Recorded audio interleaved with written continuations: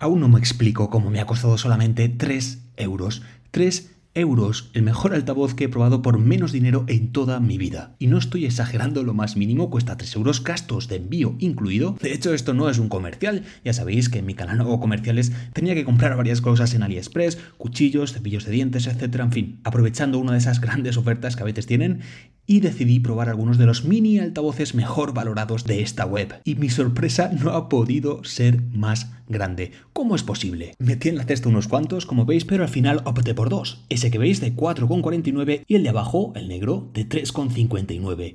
Me llegaron a casa hace una semana, los he probado y no podrían haberme sorprendido más.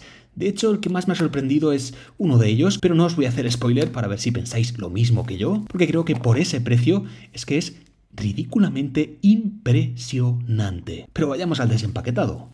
Este negro se llama E3052, menudo nombrecito, pero bueno, incluye un cable de USB-C a USB-A y unas instrucciones mínimas. Como veis está todo construido en plástico, no podía ser de otra forma costando lo que cuesta. Evidentemente aquí no hay ningún material premium, es la verdad bastante liviano a la mano y los botones tienen un tacto aceptable teniendo en cuenta el precio evidentemente. Botones que sirven para encender, apagar, pausar, dar al play, subir o bajar volumen y también sirve para encender las luces o para cambiar la dinámica de las luces. Y aquí estáis viendo lo que tiene por dentro, cómo se ve.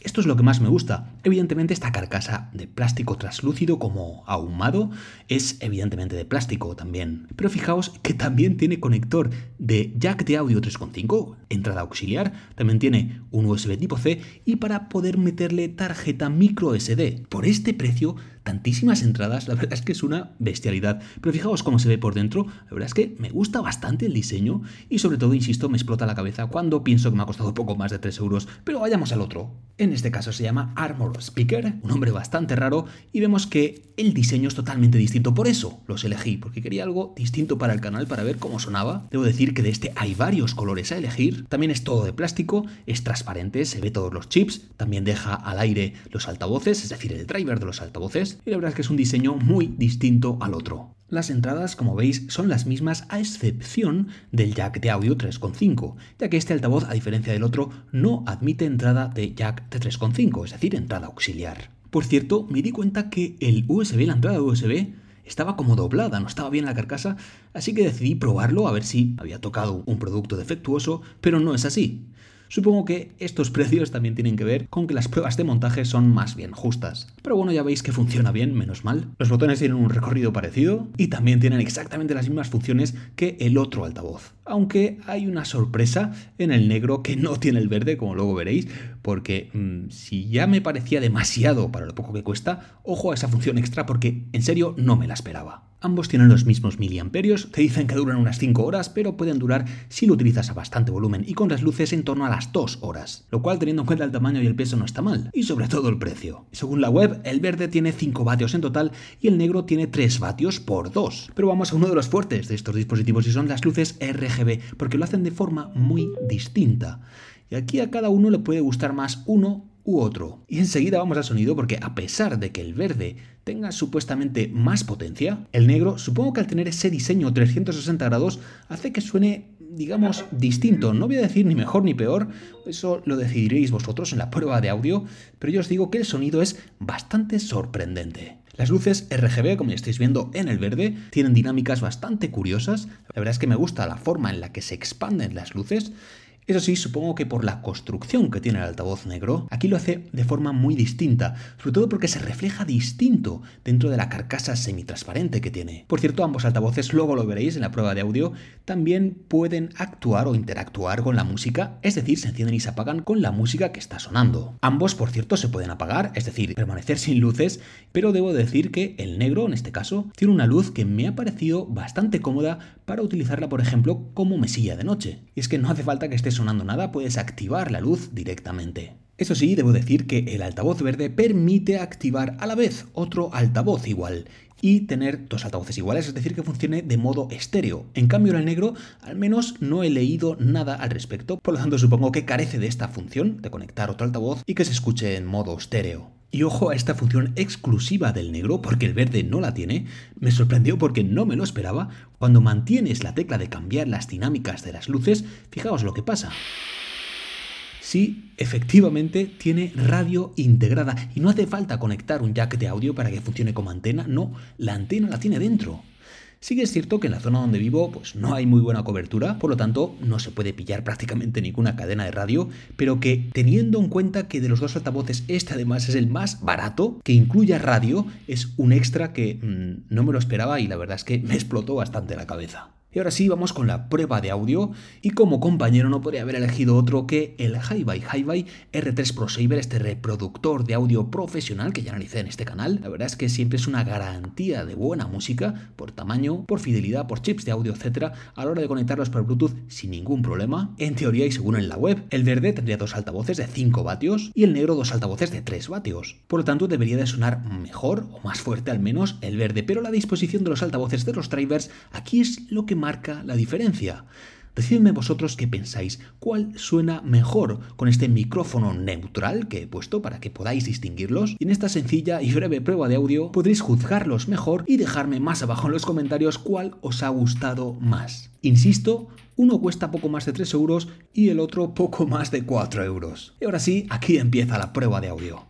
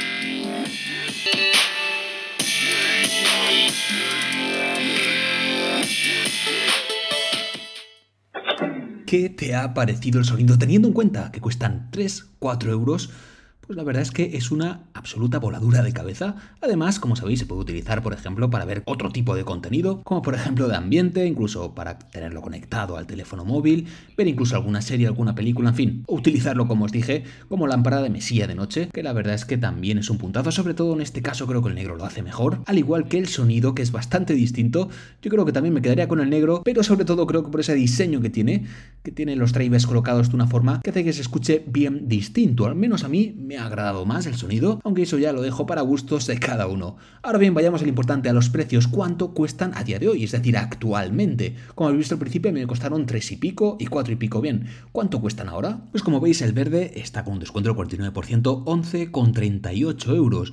Pero ojo porque AliExpress está de cumpleaños, es decir, en marzo cumplen años, no sé si eran 14 años de AliExpress, pero ojo, vayamos al negro, 41% de descuento, ahora está a 9,45 euros, más barato que el verde. Pero como os comentaba, AliExpress está de celebración, van a haber descuentos brutales, sobre todo a partir del 18 de marzo, como estáis viendo, 18 al 27. Además tenéis códigos de descuento no solo para estos altavoces, sino para cualquier cosa. Lo dicho, yo compré cuchillos, compré cepillos de dientes, compré cuchillas de afeitar, en fin, compré varias cosas para mí, para mi casa, muy baratas. Nadie me ha regalado nada, esa fue una compra que hice yo por mi cuenta. Y ahora tenéis la posibilidad de encontrar estos altavoces a ese precio sumamente irrisorio. Más abajo en la descripción del vídeo os dejo el enlace, los descuentos, etc. No sé cuándo estarás viendo este vídeo, no sé si encontrarás ese descuentazo que yo he encontrado. Ya sabéis que aquí los precios suelen fluctuar bastante, así que ya sabéis, más abajo tenéis el enlace, podéis consultarlo. Ojalá la suerte que yo tuve. Y dicho esto, ¿qué te han parecido estos mini altavoces? El precio desde luego que a mí me voló la cabeza teniendo en cuenta cómo suenan y sobre todo el diseño y cómo suena el negro, en mi opinión creo que es el vencedor, aunque esto ya depende de gustos. Dicho esto, espero que te haya gustado este vídeo, suscríbete si es que todavía no lo has hecho y déjame un like para que puedas seguir trayendo dispositivos como este tan sumamente raros, tan sumamente baratos. Ya sabéis que aquí he probado altavoces de más de 400 euros, por lo tanto una de cal y otra de arena, unos de 400 euros y otros de poco más de 3 euros como estos. Cualquier cosa ya sabes, déjamela en los comentarios y nos vemos en el próximo vídeo. Un saludo y hasta pronto.